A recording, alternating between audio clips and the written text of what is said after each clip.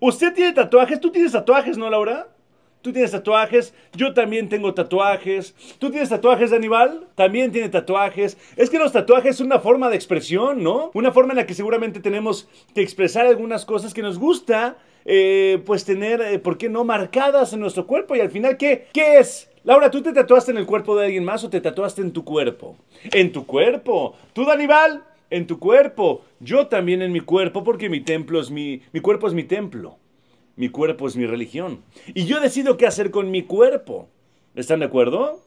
Y es que hay gente que, que, sataniza los tatuajes. Hay gente que dice, no, no, no, no, no, no, perdóneme. Pero los tatuajes son cosa del diablo. En un podcast invitaron a una señora que se dedica a realizar masajes. Que si al final sus manos hacen contacto con el cuerpo de la persona que la contrata. Pero esta señora abiertamente dice que ella no le da masajes a personas tatuadas.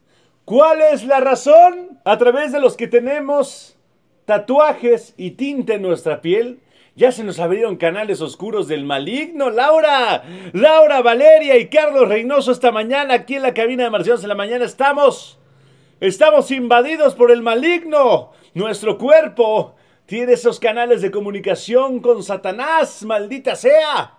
Y, no empezando por nosotros, ¿eh? nosotros porque decimos tatuarnos, pero los tatuadores, los tatuadores que, que, que para tener más clientes hacen este tipo de conjuros.